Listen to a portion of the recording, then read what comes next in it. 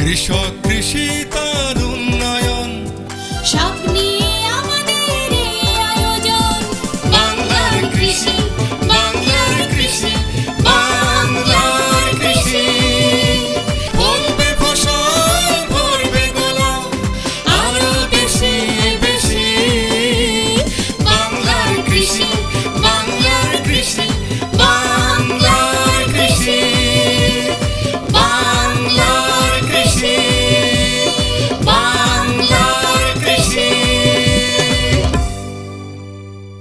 কৃষি তথ্য, প্রযুক্তি, পরামর্শ এবং মাঠ ফসলের করণীয় সম্পর্কে জানাতেই আমাদের এই বাংলার কৃষি।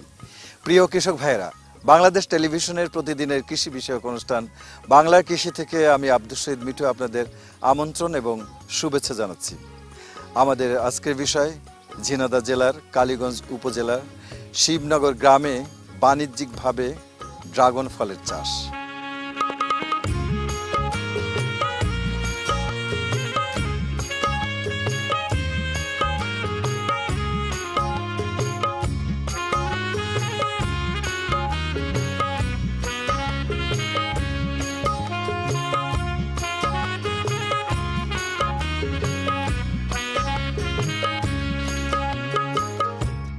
আবহমান কাল থেকে আমাদের দেশে কৃষক ভাইয়েরা তাদের নিজেদের প্রয়োজনে বিভিন্ন সময়ে বিদেশি ফল, ফসল আমাদের দেশে মাটিতে বপন করেছে এবং দেখা গেছে যে এই দেশে সেই ফসল বা ফল এ দেশে একসময় আমাদের নিজস্ব ফলে পরিণত হয়েছে।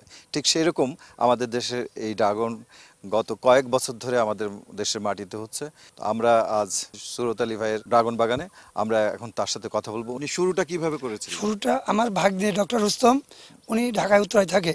তা উনি এই এই ফল নিয়ে আর কি উনি কি এ, ড- এরপরে পিএইচডি করে উনি এই ফল নিয়ে গবেষণা করে। সারা পৃথিবীর যত উন্নত জাত আছে ওনার এই ইম্পোর্ট লাইসেন্স আছে ওই তার আমদানি করে। তো উনি আমাকে আমি ব্যবসা করলে বললাম মামা ব্যবসা করে তো কোনো লাভবান হতে পারলে না তা আমি যে একটা ই দিচ্ছি তুমি এই করো।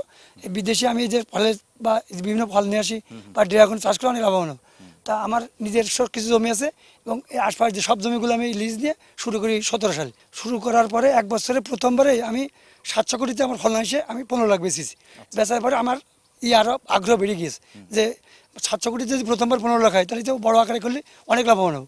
তারপরে আমি একভাবে লাগাতেই আছে আর কি। এখন আমার অলরেডি ধরে এসে আড়াই হাজার কোটিতে আর আড়াই এক হাজার কোটি লাগানো হয়েছে। আমার এই দেখা দেখি অনেক উদ্বোধন অনেক নতুন নতুন বাগান আছে একটা খুঁটিতে সাধারণত চারটে চারা লাগানো হয়। দিয়ে এই চারাটা যখন ওঠে তখন দুটো রড ওই যে ফুটো রাখা রাখে দুটো রড দিয়ে টায়ার বেঁধে দিতে হয়। এই আর এই এর একটু সার লাগে বেশি আর শীঘ্রে বেশি দূর যায় না। যার জন্য এর খাবার রেডি খাবারটা একটু বেশি দিতে হয়। আচ্ছা। মানে এটার লোকে যেহেতু শীঘ্রে বেশি দূর যায় না রসটা বেশি দিন থাকে না গাছের গোড়ায়। এই রস খেয়ে ফেলে দেয় এবং শুকনো হলেই সেচ দেওয়া লাগে। একটু ঘন ঘন সেচ দেওয়া লাগে এবং জৈব সার সবচেয়ে বেশি কাজ করে। এর যেটা পোলট্রি লিটার গোবরের সার এগুলো পচে বা ভার্মি কম্পোস্ট এগুলো দিলে সব বেশি কাজ করে ওইগুলো আর কি এর। মানে এর জন্য উপকারী সব থেকে জৈব সার। এটা রোগ বালাই পোকামাকড় রোগ বেলায় ব্যবস্থা? এর লাগে এই কিছু পিঁপড়ে ডে এসব লাগে। আর ওই যখন ছোট থাকে ওই যে আপনার সুযোগ সন্তানে একটা পোকা আছে তিড়িং পোকা বলে ওই ঘাসের ভিতর থাকে রাত্রি খেয়ে আবার ওই দি ওর জন্য কীটনাশক আছে যে মাঝে মাঝে দেয় আর খাতে পারে না। একবারও এই করলে অ- অনেক দিন থাকে ওই বিনিয়োগ একটু বেশি টাকা লাগে বুঝলে মানুষ মনে করে কিন্তু এতে একবার লাগালে আর লাগানো লাগে না। এটা ওর চেয়ে বরং অন্যাবার তো প্রতিবার করা লাগে। এটা যেহেতু টাকা বেশি খরচ হলেও সুবিধা হলেও অনেক দিনের সুফল ভোগ করা যায় আর কি। একটা গাছে আপনি সর্বোচ্চ কতগুলো তিরিশটা? চল্লিশটা পাই একবারে আর একটা এক সিজনে একশোটা ফল দেয় একটা খুঁটিতে আর কি। মানে চারটে গাছ হাজারটা খুঁটি জি, জি। একশোটা ফল দেয় সর্বনিম্ন।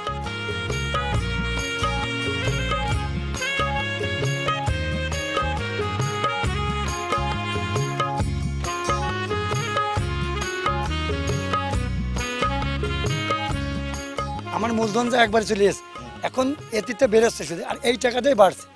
নতুন করে আমার কোনো বিনিয়োগ করা লাগছে না। প্রথম বছর বিনিয়োগ করেছি শুধু।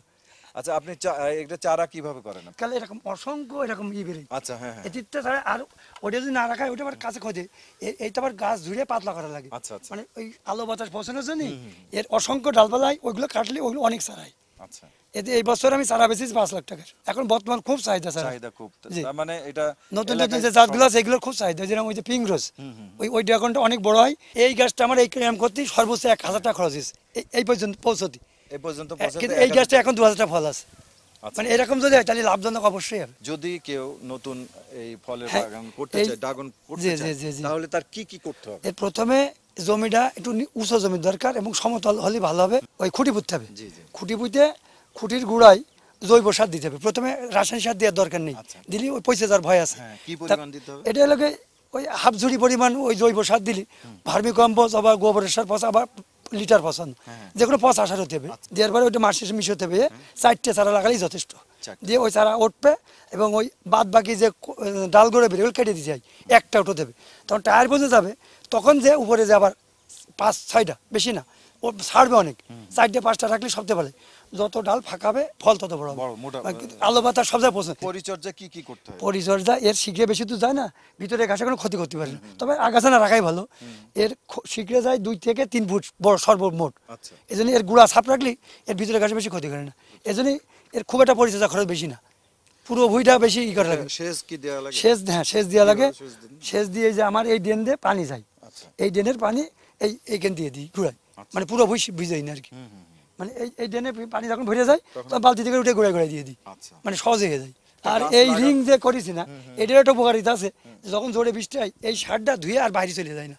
এই যে এটা করার কিন্তু একটা উপকারিতা আছে এমনি এমনি করি না এটা মানে এটা তো খরচ শেষ করতে। কিন্তু এটার একটা লাভ আছে যে এই যে বান্দা দেখছেন না। এর সার যেটুক দিচ্ছে এর একশো ভাগ সার গাছে খাতি পাচ্ছে ড্রাগন তো যেহেতু নতুন চাষ মানে কৃষি অফিস যে পুরোনো যে চাষাগুলো আছে যেরকম আমের বাগান আমার চারা দিয়েছে পেয়ারার সার চারা দিয়েছে সার দিয়েছে এবং মাঝে মাঝে তারা এসে ওই কীভাবে কী স্প্রে করতে হয় কী কীটনাশক দিলে ভালো হবে এটা এরকম প্রযুক্তিগত সহায়তা করে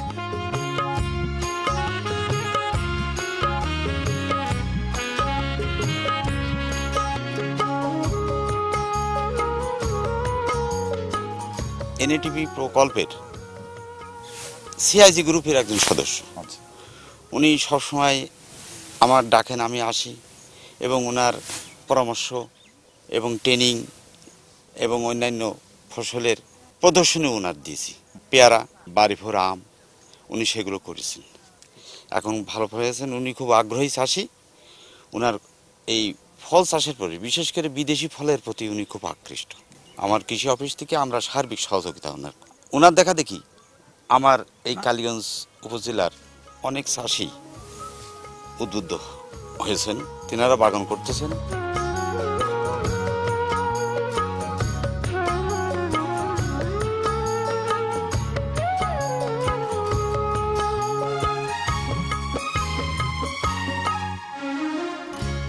বর্তমানে আমাদের ড্রাগন বাগান কালীগঞ্জে প্রায় পঁয়ত্রিশ থেকে চল্লিশ একরে সম্প্রসারিত হয়েছে। পর্যায়ক্রমে প্রতিনিয়ত অনেক কৃষক, উপজেলা কৃষি অফিসে আসে ড্রাগন সম্পর্কে জানতে এবং এটি চাষ করার জন্য। ড্রাগন চাষে যেটি হয়, প্রাথমিকভাবে এটির ইনভেস্টমেন্ট একটু বেশি। এই কারণে অনেক কৃষক ভাই এটি পিছপা হয়। কিন্তু সার্বিকভাবে যদি চিন্তা করা যায়, যে কোনো ফসল থেকে ড্রাগন চাষে অনেক বেশি লাভ। আমরা যদি দেখি, এক বিঘা জমিতে প্রায় দুইশোটি পিলার আমরা স্থাপন করতে পারি এবং প্রত্যেকটি পিলারে চারটি করে ড্রাগনের চারা রোপণ করা হয়। ড্রাগনের রোপণের উপযুক্ত সময় আমরা দেখি যে শীতের শেষে প্রত্যেকটি পিলারে জৈব সার সহ অন্যান্য সার দিয়ে আমরা গর্ত করে বিশ পঁচিশ দিন রেখে এরপরে পিলার লাগাবো। পিলারটা লাগানোর পরে এরপরে আমরা চার সাইডে চারটি গাছ আমরা রোপণ করি। চার থেকে ছয় মাসের মধ্যেই সেই চারাটি উপরে পর্যায়ক্রমে পিলার বেয়ে আমাদের টায়ারের উপরে উঠে আসে। উঠে আসার পরেই আমরা যদি এটি জানুয়ারি, ফেব্রুয়ারিতে রোপণ করি তাহলে দেখা যায় যে আগস্ট সেপ্টেম্বরে যেই, অর্থাৎ সাত আট মাস পরেই আমরা প্রথম বছরেই প্রত্যেকটি পিলার থেকে কিছু না কিছু ফল পাবো। আনুমানিক প্রথম সাত আট মাস পরে দেখা যায় যে প্রত্যেক পিলার থেকে পাঁচ সাতটি করে ফল পাওয়া যায়।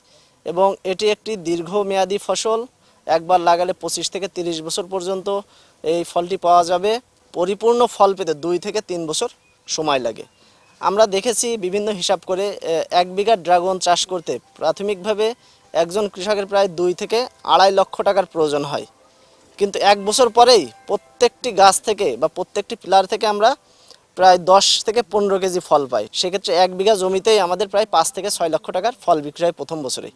আর আমাদের ইনভেস্টমেন্ট আছে দুই থেকে আড়াই লক্ষ টাকা। অর্থাৎ এক বছরেই তার খরচের টাকা ওঠার পরেও প্রায় দুই থেকে আড়াই লক্ষ টাকা নেট প্রফিট হওয়ার সুযোগ আছে। ড্রাগন চাষের সবচেয়ে যেটি ভালো একটি বিষয় রোগ বালায় পোকামাকড়ের আক্রমণও অত্যন্ত কম। প্রথম যখন লাগানো হয়, এরপরে আমাদের কাণ্ড যেহেতু খুব নরম থাকে, সেক্ষেত্রে কিছু বোরার, যেগুলো ডগা খেয়ে ফেলে, এই ধরনের কিছু পোকার আক্রমণ হয়, সেক্ষেত্রে আমাদের অনুমোদিত মাত্রায় কীটনাশক স্প্রে করলে সেই ধরনের পোকাগুলো আমরা নিয়ন্ত্রণ করতে পারি। এছাড়া ড্রাগনে আরেকটি জিনিস দেখা যায় যে, বর্ষার সময় স্টেম রট নামে একটি রোগ আছে, যেখানে দেখা যায় যে আমাদের ড্রাগনের কিছু কিছু জায়গা হলুদ হয়ে রাস্ট আছে, রট আছে, সেগুলা একটু পচে পচে যায়। সেক্ষেত্রে যদি আমরা ছত্রাকনাশক স্প্রে করি, সেই রোগগুলোও সহজে নিয়ন্ত্রণ করা যায় এবং এটি অত্যন্ত ভিটামিন সমৃদ্ধ ফল। এখানে বিভিন্ন কালারের ড্রাগন আছে, সাদা আছে, লাল আছে, ক্রিম কালার আছে। তো দেখা যায় যে লাল যে ফলটি, এটিতে ভিটামিন বিশেষ করে ভিটামিন এ, ক্যারোটিন প্রচুর পরিমাণ আছে এবং প্রচুর পরিমাণে আয়রন আছে, যাদের কনস্টিপেশনের সমস্যা, এই ড্রাগন ফল খেলে কনস্টিপেশনের সমস্যা দূর হবে। এছাড়া আমাদের যে পুষ্টির যে ঘাটতি পুরা জাতির উপরে আছে ড্রাগন ফলের মাধ্যমে সেটির অনেকাংশে সমাধান করা যাবে বলে আমি ব্যক্তিগতভাবে মনে করি।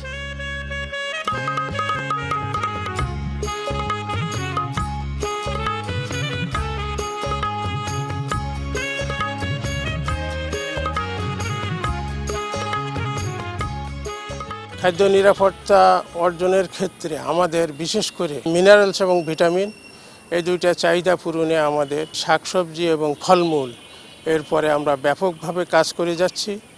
ইতিমধ্যে ঝিনাইদহ জেলায় বিভিন্ন ফলের বাগান তৈরি হচ্ছে। কৃষকরা এটা কমার্শিয়ালি এই বাগানগুলো করছেন, বিশেষ করে ড্রাগন ফলের বাগান। এটা আমাদের সদর উপজেলা এবং কালীগঞ্জ উপজেলায় বেশ কিছু কৃষক এই ড্রাগন বাগান করছেন এবং তারা এগিয়ে আসেন এবং ব্যাপকভাবে লাভবান হচ্ছেন। আমরা আশা করি আমাদের সারা বছর ব্যাপী ফলের চাহিদা পূরণের ক্ষেত্রে ড্রাগন একটা প্লাস হলো আমাদের দেশীয় প্রচলিত, অপ্রচলিত ফলের সাথে এই ফলটি আমাদের বিশেষ করে আমাদের যে খনিজ লবণ এবং ভিটামিনের চাহিদা, খাদ্য নিরাপত্তা অর্জনের ক্ষেত্রে এই ড্রাগন আমাদের আমাদের দেশীয় ফলের সাথে বিদেশি ফল হিসাবে আমাদের এই পুষ্টি যে হীনতা দূরীকরণে সহায়ক ভূমিকা রাখবে।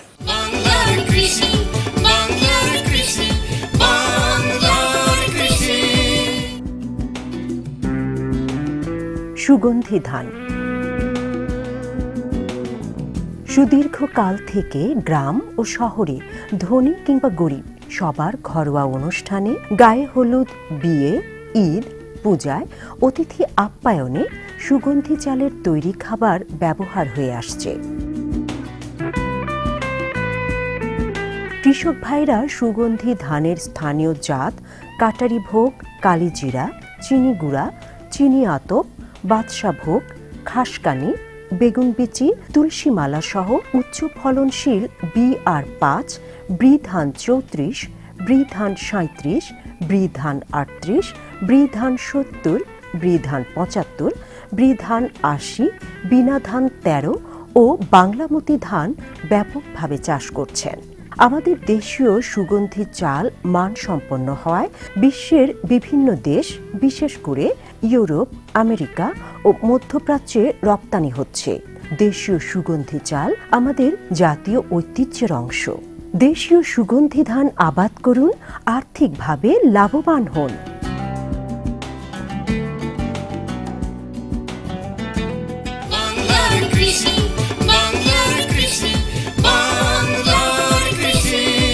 কৃষক ভাইরা আমাদের অনুষ্ঠান সম্পর্কে আপনাদের যে কোনো মতামত লিখতে পারেন।